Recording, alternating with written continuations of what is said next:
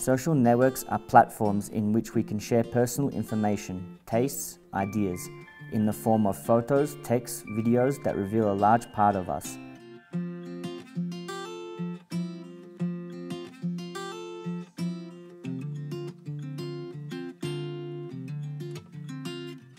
Many of us are excited by the idea of sharing a pleasant moment with our friends in a restaurant, park or place of interest in general and we want to publish the location, photos and videos of that moment in a social network to keep that special moment, thus creating a window for those who want to know about our life.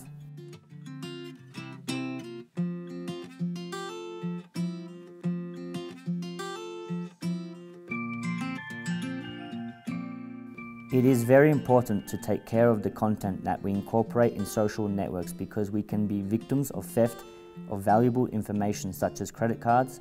lose our job for a publication that we made of our work, or conversations with someone that are made public by discussions.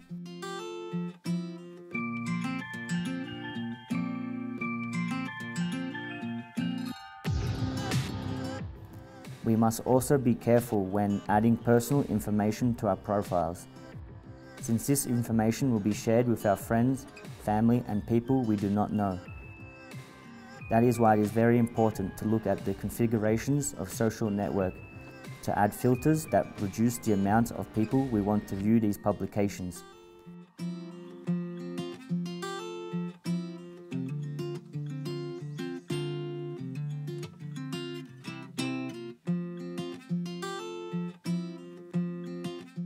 It is not advisable to upload photos of your children on social networks,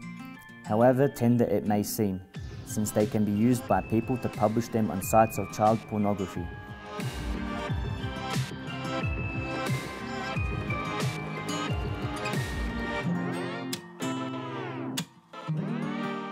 Keep in mind that once you upload a photo on the network, despite it being deleted,